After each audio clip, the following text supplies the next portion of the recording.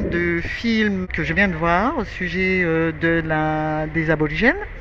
C'est effectivement euh, cette réclamation du droit à la liberté, à la terre et à la reconnaissance de l'être humain. Ce film euh, retrace bien ce que les aborigènes ont, dû vivre et réclament tout simplement leur, souveraineté, leur citoyenneté, leur, leurs droits.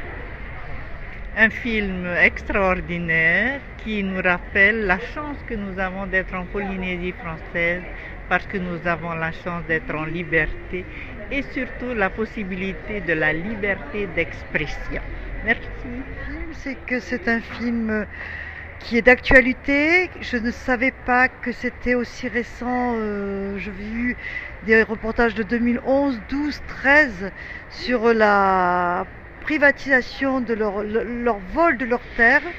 Et au moins, ils sont, ça a été reconnu et n'ont pas euh, été, euh, euh, n'ont pas été volés.